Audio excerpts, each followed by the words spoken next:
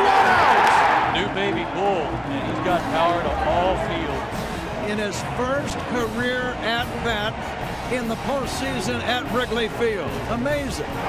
Starlin Castro with a long home run.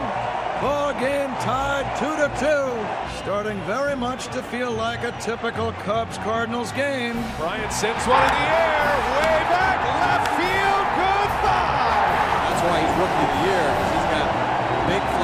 power. And right cue, they've gone back to back. As Anthony Rizzo's first postseason hit is a memory. A long home run into the bleachers in right field.